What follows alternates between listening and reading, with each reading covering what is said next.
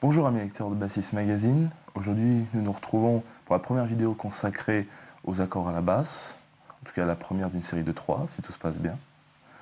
Euh, cette première vidéo sera consacrée aux triades, aux quatre accords fondamentaux des triades, donc les triades majeures, mineures, diminuées et augmentées, qui vous permettront d'être à peu près à l'aise dans des formations rock ou pop, en tout cas des dites musiques populaires, on va dire. Euh, bon, l'intérêt des accords à la basse, bah, tout d'abord, ça sonne plutôt bien. Et ensuite, ça peut être très utile en formation réduite. J'entends par là quand vous êtes basse batterie guitare, basse piano guitare, ou même, rarement, ça peut arriver, euh, basse chant batterie. Donc ce sont les formations où vous allez devoir prendre le spectre harmonique, euh, enfin en tout cas un peu plus que simplement faire les fondamentales dans les graves. C'est pourquoi aujourd'hui, on, va, se concentrer tout d'abord sur qu'est-ce qu'un accord, sur les positions de ces quatre triades dont je viens de vous parler, les, renversements qui vont avec, et à la fin, commencer à voir un peu les possibilités que ça peut ouvrir. Attention cependant, euh, pendant cette vidéo, je vais vous montrer quelques positions qui peuvent vous amener à faire des extensions relativement grandes, qui peuvent être douloureuses quand vous n'avez pas l'habitude.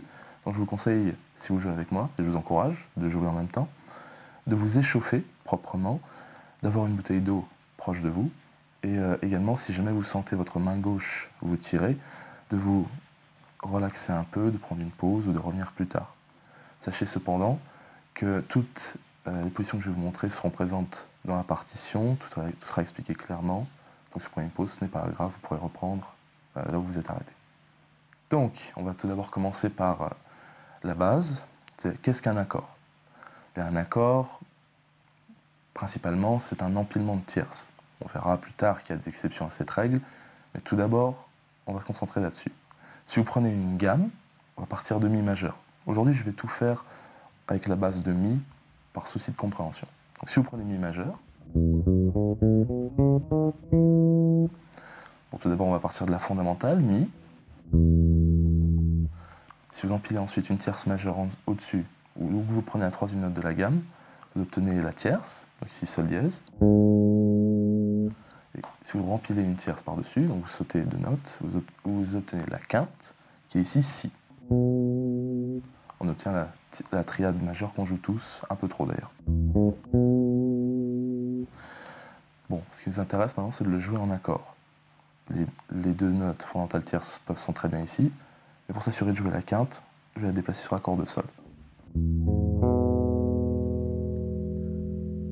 Ça nous donne la triade majeure de Mi, donc Mi, Sol, dièse, Si, dans une position serrée, c'est-à-dire sur trois cordes adjacentes, les unes à côté des autres, et position fondamentale, c'est-à-dire la basse sur la fondamentale. Ensuite, si on veut obtenir les quatre autres triades présentes, donc nous avons Mi majeur, Mi mineur, pour ce faire, vous allez devoir abaisser la tierce d'un demi-ton pour obtenir Mi, Sol, Si. 1, 3, 5. Pour avoir un Mi diminué, vous allez également abaisser la tierce d'un demi-ton, donc Mi, Sol, Si bémol.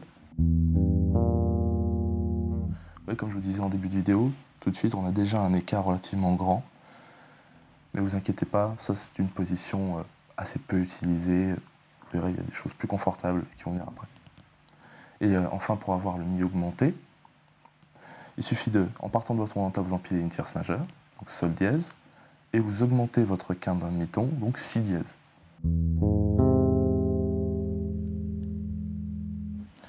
Voilà donc pour les quatre triades fondamentales, en position fondamentale, serrée. Ce qui est intéressant également avec les triades, c'est tout simplement le fait qu'on puisse les jouer presque un peu dans le désordre, si je puis dire.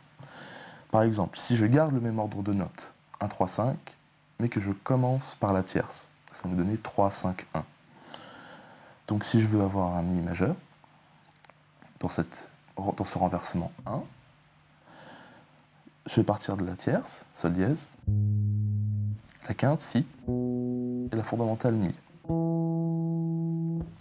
Ce qui est assez, euh, cette position est assez intéressante car la fondamentale étant en top note, elle est très claire en tout cas dans ce qu'elle indique.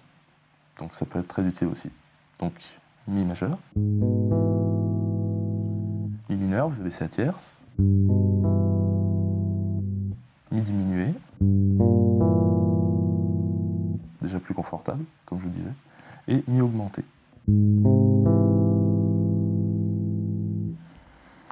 Nous avons, si on continue dans cette logique, le, le deuxième renversement en partant de la quinte, qui nous donnera 5, 1, 3, si je donne l'ordre euh, des notes, des intervalles.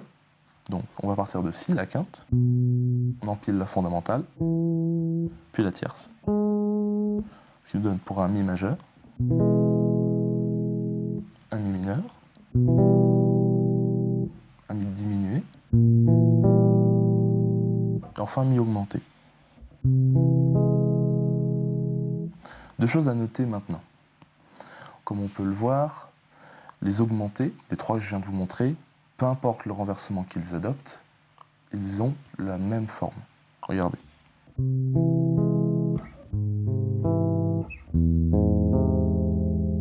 Déjà, c'est très pratique pour se repérer. Et ensuite, si vous voulez, vous pouvez tout de suite commencer à... Si vous voulez par exemple faire des phrases avec des accords, vous pouvez vous en servir. Vous prenez les arpèges, vous pouvez les empiler par exemple.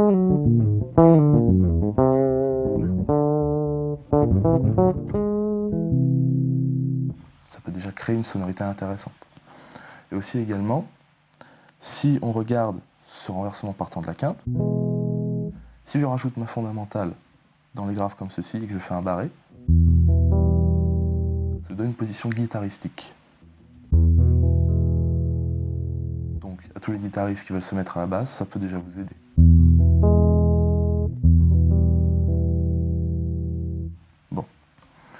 Ces positions serrées sont très importantes car quand vous connaissez votre harmonie, c'est important de les connaître telles quelles. C'est l'ordre dans lequel vous les connaissez où vous allez les apprendre. Cependant, musicalement parlant, la première position est peu utilisée car beaucoup entendu, fait très euh, scolaire, on va dire. La deuxième position est intéressante, un peu, moins, un peu plus méconnue. Et cette euh, dernière position, donc renversement 2, apporte des sonorités, des sonorités intéressantes, mais euh, prend peut-être un peu trop de place dans les aigus et manque de basse. C'est pourquoi je vais vous montrer les positions larges, en contraste aux positions serrées. J'entends par large qu'on va jouer sur les cordes donc Mi et Sol, donc plus grave et plus aigu qu'on a à disposition, en tout cas quand on a quatre cordes, j'entends, et remplir euh, les notes qu'on a en trop, enfin en trop, en plus, sur les cordes Ré ou La. Donc, si on reprend notre triade, excusez-moi, de Mi majeur, pour essayer d'atteindre l'accord de Sol, on va mettre à l'octave une note. On peut essayer la quinte, par exemple. Alors c'est joli, ça prend beaucoup d'espace, c'est large. Le problème, c'est qu'après, pour rajouter la tierce, c'est plus compliqué. Les tierces se situent ici, et ici. Ou vous pouvez essayer de faire un écart beaucoup plus grand, par exemple ça. Ça s'étouffe un peu dans les graves, donc je vous le déconseille, en général.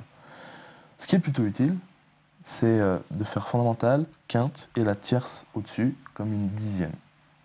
Donc si je fais un Mi majeur, je vais faire Mi, Si et Sol dièse. Donc 1, 5, 3.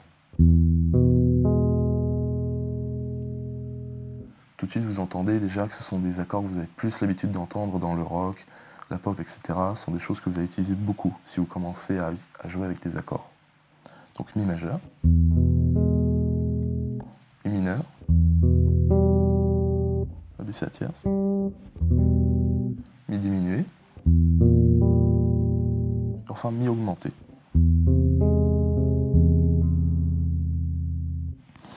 Les positions larges, ben, on peut étant des accords basés sur les trois mêmes notes que nous avions auparavant.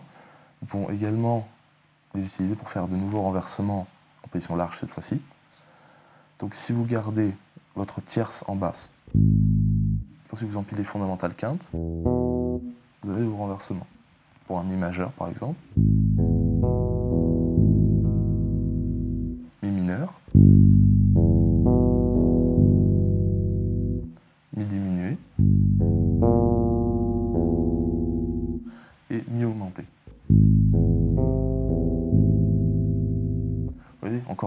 position qui est relativement douloureuse si vous n'êtes pas chaud. Enfin, si vous mettez la basse sur la quinte, de nous faire 5, 3, 1, fondamental, euh, excusez-moi, quinte, tierce fondamentale, donc pour un mi majeur.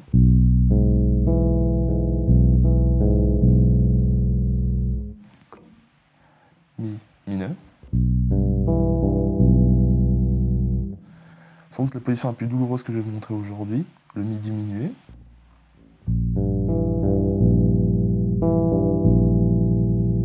Et enfin le mi augmenté. Chose tendancieuse, car comme pour les, euh, les positions serrées, le renversement 2 et 1 du mi augmenté en position large sont les mêmes. Oui, regardez.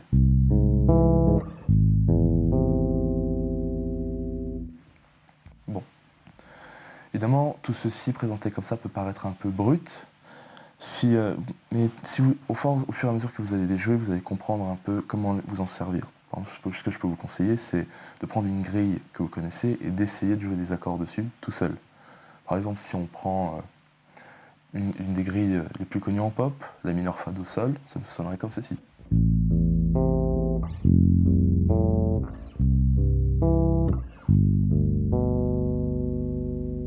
Déjà, ça évoque des souvenirs.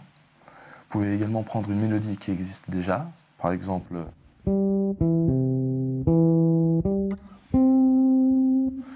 Et vous servir de vos positions pour étoffer la mélodie, par exemple.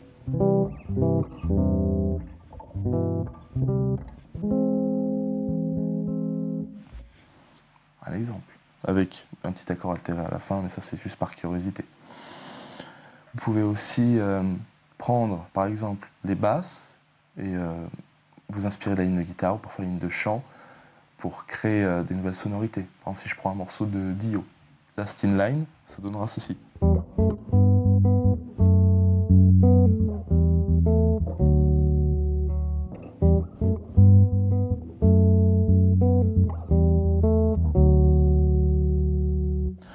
D'ailleurs, petite note sur cet exemple, comme vous avez pu le voir, j'ai joué fondamental et tierce à l'octave sans ajouter la quinte. Pourquoi? Tout simplement parce que, pour deux raisons ici, tout d'abord, le temps de rajouter la quinte est moins présent, c'est un peu plus dangereux, et c'est pourquoi je m'abstiens. Et aussi, la quinte, quand elle est euh, juste, sert pas tant que ça en fait. Par là, je veux dire, elle ne rajoute pas de couleur intéressante, elle rajoute un peu de puissance, un peu de volume, donc on peut se permettre de l'enlever. De toute façon, la basse étant un, instrument au spectre relativement bas, donc un peu compliqué à utiliser, il faut apprendre à mettre en valeur les couleurs nécessaires. Je veux dire par là, c'est une quinte, ce sera sans doute là, en dépit d'une sixte, d'une carte, ou peu importe. Pourquoi, si elle n'est pas altérée, je vous conseille de l'enlever. C'est aussi une règle qui sera très importante pour la prochaine vidéo. J'espère que cette vidéo vous aura été utile. La prochaine fois, je vous montrerai les accords 7 et comment commencer à ajouter des couleurs intéressantes, 9e, 11e et 13e. J'espère vous voir nombreux la prochaine fois.